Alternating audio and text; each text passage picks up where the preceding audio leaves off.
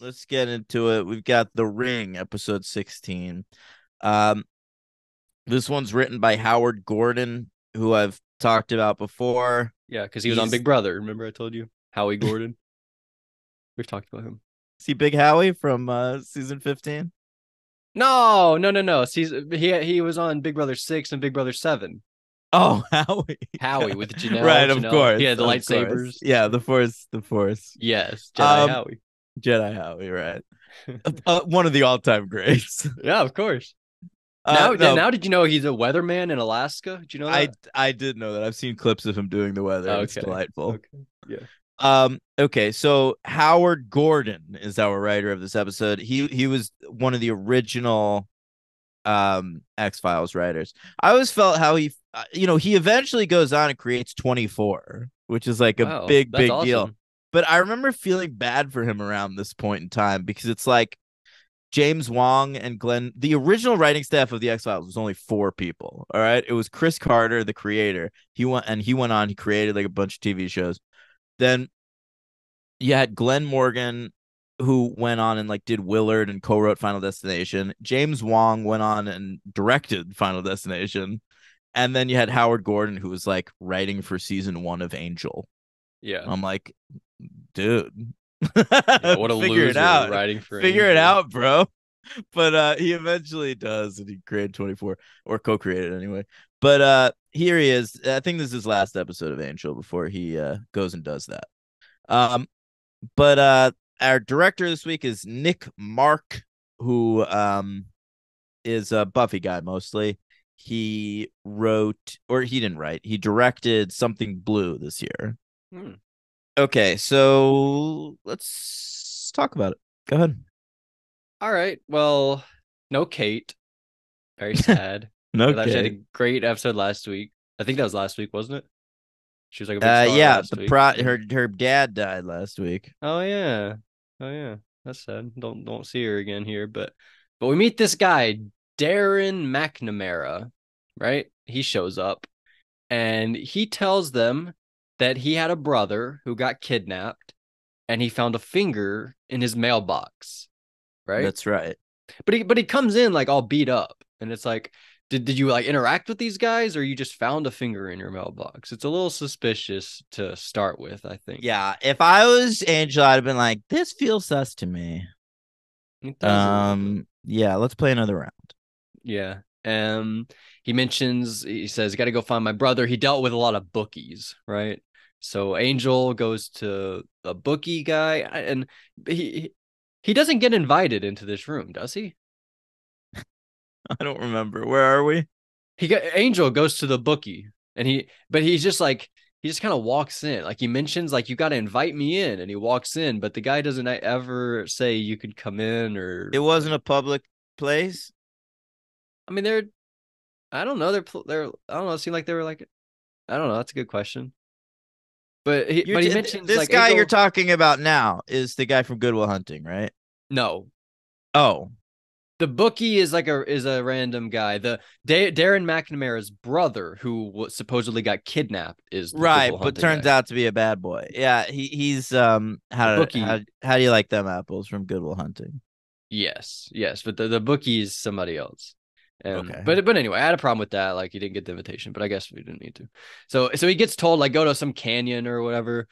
Um, uh, Cord- early early on, Cordelia and Wesley sort of had like they were like arguing a little bit. What was that about? I don't know, but I love their chemistry this week. Me too. I thought Yeah. best so far of any that episode. that scene where they pretend to be cops to talk to that, that rich couple Yes. is really delightful. and like afterwards, she's like, "What the hell are you talking about? like, why? Well, you're just so stupid." Yeah. I like I liked her. But she calls him Agent Yelsu. And I I always thought that was just like a weird name. And then I, I realized it's Wesley backwards. Oh wow! Is- Yeah. The same thing. What was her name? Was her name Cordelia backwards? No, no, she like had a little name for herself. I don't remember. Oh, that's pretty funny. And I wrote down Cordelia hates slime. Did you get that? No, but congrats. I agree. It's scary. She mentions like all the bad things, and she's like, Yeah. "Slime! I fucking hate slime." So there we go. oh, by the way, by the way, you skipped at the beginning. uh, Cordelia is working on a demon database called Demons, Demons, Demons. She was making that. I think she was. I thought that was just like a website she was on, and she It might have been. It might have been. It might have been. But she, but, But- she does mention making a dating website, like a demon dating website. True, true. But I, I just wanted to shout out that um, there's this like random line, uh, in that scene, and it's referencing she. That terrible episode of she. Okay, what's that? He's like ask. She asks him to like look up that lady on the demon database or something. I don't oh, know. really? Anyway, it What was just her name? I, I don't remember. Eiling. Eiling. Okay. But boy, Bai Ling or Eiling? Bai Ling. No, the character's name. I don't know the character's name. She's Bai Ling. Oh, well, obviously they didn't say look up Bai Ling. Oh, oh my god. All right, so Angel goes to this arena where uh, demons fight each other. We said we mentioned Fight Club earlier, and it's more like Gladiator than Fight Club, to be honest. yeah, it is. You know, well, what I was thinking of, I was thinking of uh, Thor Ragnarok a little bit. No, right, but that's Gladiator too. I know. I, I'm a I, loser. I um, think about Marvel. Right, right. But the the scene especially where like they're like eating gruel or whatever, like but like bef- when they're not on in the ring and they're just like in their like cages, you know, that reminded me a lot of Gladiator. The way they're talking, like, and we're gonna have to fight later. It'll be a great battle, but you know, Yeah, wish we didn't have to do it. You know, that's that kind of shit. I like that part when he stood up for that little guy. Yeah, me. Mellish, Mellish. Um, but anyway, so they uh eh, big reveal. I thought cool, cool reveal. This guy, uh, we haven't done this yet, where somebody has gone to Angel for help, but really they're bad. They're trying to trick him, right? That hasn't happened yet. I thought Not that was yet. a cool twist. So it's revealed that this guy, Darren McNamara, is bad. They end up imprisoning Angel. And Angel, great line, reference to another episode. Did you catch this? Say it. He said, I really wanted a room with a view. Yeah, and you know what else is funny about that? What? um the guy in that scene you know that demon with the green sort of camouflage Trepkos? I get uh There's Trepkos and there's another one. it's not who's- trepkos okay, I'll have to look up the Angel episode thing. it's this fella Crib. tom crib yeah Okay. crib that actor is in that scene when he says room with a view and he's also in the episode room with a view he What? plays like the the demon that's like going at like the bookie that's going after doyle for money in that episode Okay. Yeah. Yeah. I'm, I'm looking at him. I've definitely seen this guy. he's guy. that before. guy and he's playing another demon in this episode and i think they had A- angel say room with a view that moment because the guy from room with a view is right there Yeah. I mean, I didn't know that, that that he was in that episode, but yeah, Yeah. that that's very cool. Um, all right, there we go. Marcus Redmond is the actor. there you go He was in Fight Club. wow He played Detective Kevin. So he's like one of those. Co- every so often they cut to the cops, and it's like, oh, mm. yeah. Yeah. Oh yeah, I forgot I was supposed to keep going. Uh so so yeah, so we meet this guy Darren McNamara. It's revealed that like his brother wasn't actually kidnapped, and his brother, as we mentioned, is the guy from Goodwill Hunting. How do you like them apples? Is he's that Yeah. guy that like the which was cool. If you guys remember in Beer Bad, there's the guy who's like talking to Xander, like all these women they want me because I'm in like law school and you're a fucking loser working at a bar, and which is basically the scene from Goodwill Hunting, and we talked about Goodwill Hunting in that episode. And then here's the literal guy from that scene in Goodwill Hunting. He plays Jack. So How do you think that cool. actor feels about being known as the "How do you like them apples" guy when he doesn't even have the line "How do you like them apples"? He's just the one. That's a great point. Apples. But but he does. He does, doesn't he say it? But then the punchline is that Matt Damon says it back to him. Is that what happens? No, it's something similar. I don't think it's apples that he uses. in his- Wow. So he's remembered for something that yeah, he's he's in it, but he doesn't even say that. yeah, I'm sure he doesn't mind that much. because But- later he goes, "Do you like apples?" Like, why would he say that? Like, do you like apples? Well, I got a phone number. How do you like them apples? Yeah. And, and I guess he he wouldn't have answered the question if he knew the punchline was coming, you know? Like like if he earlier said the apples thing, he wouldn't then say, Yeah, I like apples. was coming. Yeah, Yeah, yeah. So I guess I guess you're right. Uh, but very cool seeing seeing this guy here. I, I like that. But the whole so the whole thing in the arena is you need 21 kills and then you can leave. And they've got these wristbands where you're not allowed to leave like the area or whatever. All right. So Wesley goes to that bookie and he like pulls out a crossbow and shoots him in the That's hand. the ring. I like the title of this episode because the ring could mean either the ring where they're fighting or the security ring that they have to wear. No, I'm pretty sure it only means the fighting ring. Fuck you. Because that's a bracelet. Like it's a, It's a ring It's a bracelet. It goes on their wrist. in the No? shape of a ring. What does that mean? It's circle? As a, a bracelet is? What are you talking about? Yes. Oh my god. Uh so so yeah, so we meet so Angel, there's that scene where they're eating dinner and the guy, jerk guy, crib is like, give me your fucking food. And Angel is like, no, give it back to Mellish. She's like uh he's just trying just trying to eat his dinner. And then it turned out like it, Mellish has to go into a battle, and the guy's like, "I- "I'll take care of Mellish quick," and he kills Mellish. Very sad. I was actually sad when Mellish died. No, this is kind of the first episode of Angel that like treats saving demons like it's a noble thing. Like angels, like I feel like on Buffy, when you see a demon, you pretty much assume they're bad until you're told otherwise. Well, that's what's great about the end of the episode when they're like, "Oh man, Yeah. we actually just let out all these demons." Totally, yeah. But I do think on Angel, like when you meet a demon, you you kind of have to wait. Like, are they gonna be all right or or, or mean? Yeah, I haven't really thought about that, but I guess Yeah. you're right. They're not always uh, the worst. Yeah. Uh, I mean, so you we- got like Phantom Dennis. He's like a sweet ghost. yeah. We haven't really dealt with other ghosts, have we? Uh, what about I only have eyes for you? I only have eyes for you. The John Hawkes episode, yeah, Yeah. yeah. I guess I guess you're right. And the Invisible Girl, That's not a ghost. That's an invisible girl. but she's not. She's not a ghost. no, She's just she's alive. She gets ignored too much, and then she. I know. I understand. I understood the reasoning, but but what happens at the end of the episode? She gets turned back into visible.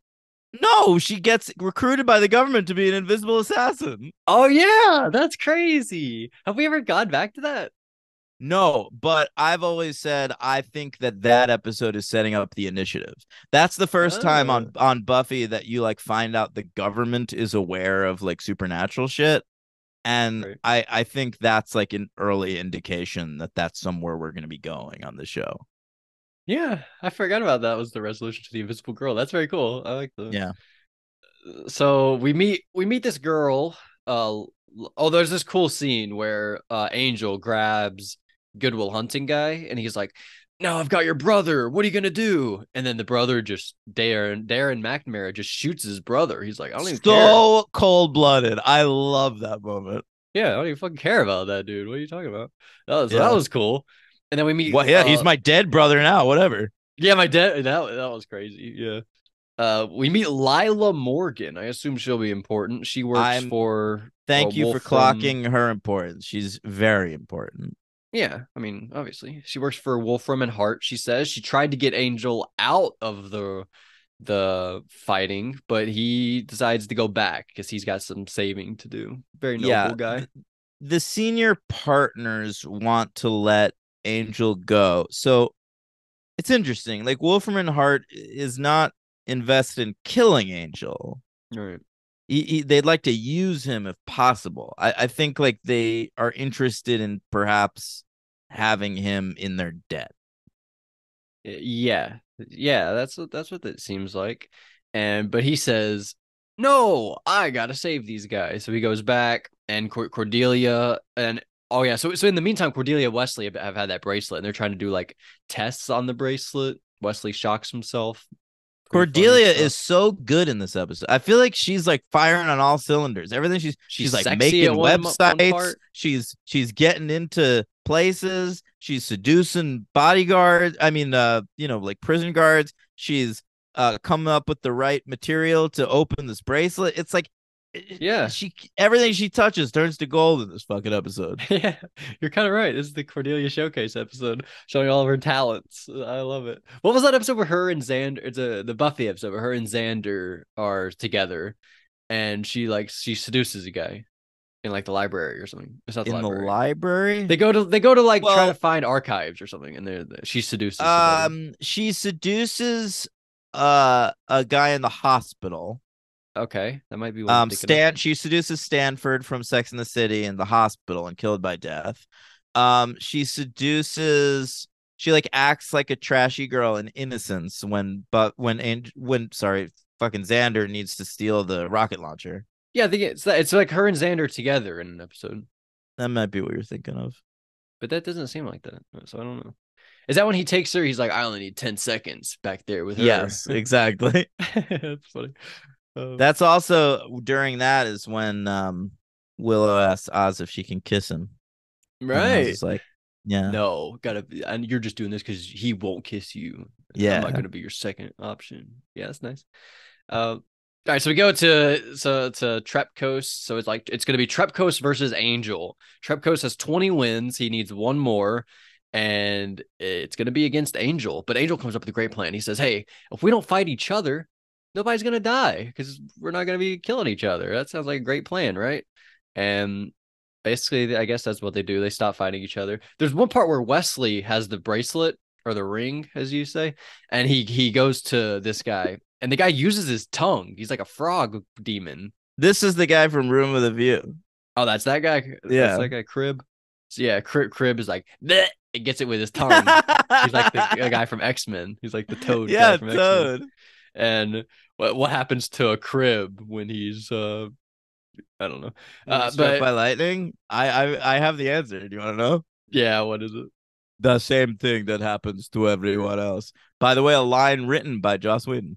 Oh wow, full circle. That's amazing. I love it. uh, is he the one who has like the "you're a dick" line? Is that him? Yeah, those are the You're two lines that Joss Whedon wrote for his X Men script that were kept in the first movie. Wow. And uh, so that was very cool. And then all the demons basically they all escape. We we kill the bad guys or whatever. And then at the end of the episode, Angel, Cordelia, Wesley, they're walking away, and they're like, "Oh my god, we we just let a bunch of demons out. That's not good." And you're like, "Oh no." Pretty funny. Maybe my favorite Angel ending. I don't know. Oh wow. Uh, Yeah, yeah, you're it's it's very it's it's actually it ends on like a double take, similarly to that great ending on the uh, fountain that you like yeah, on Buffy. that is my number one still. Probably. Yeah. We're all gonna be alone. Oh no. That's a great one. What's your what's your favorite? Well, I like also like the one where she talks to Giles, like, "Don't sleep with my mom again," and they walks Yeah. into a tree. we gotta rank know. those endings to episodes. I like the end of Hush when they're just like sitting staring at each other. Really?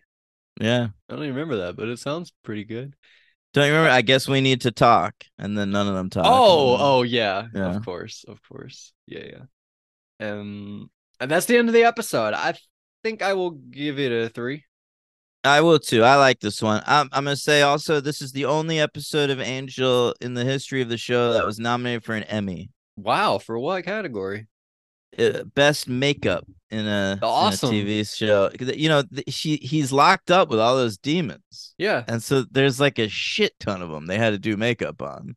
So they they gave him a little shout out at the at the Emmys. It unfortunately lost to um, what did it lose to?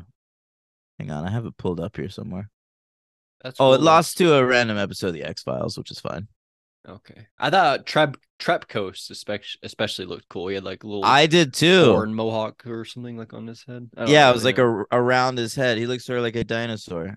yeah. He was really he was really cool, and so that's awesome. Uh, I, I will go my uh, I rank this one. There's been 16 episodes, and I'm I put this at six between Somnambulist and I've Got You Under My Skin, but it may be better Okay. than Somnambulist. I don't know.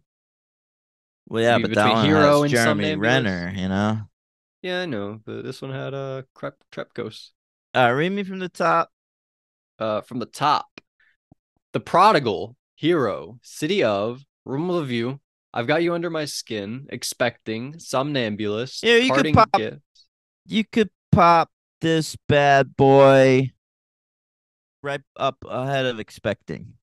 Uh, So between I've Got You Under My Skin. So we both have it at number six. Yeah, I love it. Six of sixteen. You really love that first episode, City of. Holy shit. I like the stuff with like Russell and Cordelia being in his house and realizing he's a vampire. Like that stuff always sticks with me. I mean, barely. Like I know what you're talking oh, about. come on. but we've had so much other stuff since then. I know. I still like it though. It's a good pilot. I respect a pilot. You got nothing to work with. You have to like do a whole show without any fucking Yeah, you're high on the Buffy pilot too. Yeah, yeah. I'm I'm impressed by good pilots. You know, even when they're not as good as like what the show became. Like yeah. if a show is is already like good and watchable from episode 1 on, I think there's something to be said for that. Of course. Yeah, I like that. Um Yeah. All right, so there is Buffy's Angels. Should we read the uh the Patreon? We had a couple comments. You mean Josh's comment? Josh's comment two, two of them comments, yeah. plural. Uh he says, Buffy, that was great. Hello, super compelling. I was glued to the screen at every moment. Top five ep for sure. Wow. He fucking loved it. Um, yeah. That's awesome. And then he says about Angel, he says, pretty good one. LVP Jack with the long hair for mispronouncing. Uh, you want to say that for me? Spiel. Oh, I'm not looking at it. S P I E L. So you're the LVP of this fucking. Oh episode. my god, yeah. we already knew that. He, but uh, he's spiel. spiel. It's spiel. Oh, spiel. There's no, there's no H there. So. I know, but you gotta just make one. Really? That's how you say it? Yeah. Should, should we call him Steven Spielberg? You think Spielberg about that? yeah. Seems like you're Jewing it even more, kind of. I might be. I might be. No, no, no, not you with Spiel. I mean Spielberg. If you call no, I literally might be. Like that word might be Spiel, but Jews say Spiel, and that no, I've, I've heard of might, Spiel. That also might be what Josh Mearls is reacting to as a Jew. That that what that they said Spiel and weren't supposed to, or, no, the, or that that they were they said something else. Yeah. But I've heard spiel. I think that's right. I've never heard spiel. I don't know what that is. Okay. That's why I was so confused. But um, all right. Uh, thanks, Josh Merlis, uh, for teaching me about spiel. That's like that's like you're going on and on. You're just like you're going on. and You got the spiel or whatever. yeah, yeah, or like um, you know, a salesman's patter. Like they're like, or or like the things that like that are in a script that you have to read, like as a retailer or something. Yeah. Like, welcome to this. But you know, right. Uh, you know, we offer this and this and this. Like that's their spiel.